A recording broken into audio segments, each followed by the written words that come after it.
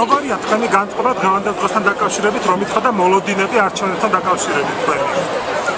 განწყობას მე მგონი ყველა ძალიან კარგად ხედავს სტადიონზე, რა განწყობაც არის, არის ძალიან დადებითი განწყობა, ყველა არის დადებითი ემოციური და მოლოდინები რაც თქვენ ხართ ერთ-ერთი ყველაზე ახალგაზრდა დეპუტატობის კანდიდატი. თქვენი რა განსახურებისთვის შეგარჩიათ ნაციონალურმა მოძრაობამ სის ასე მეათე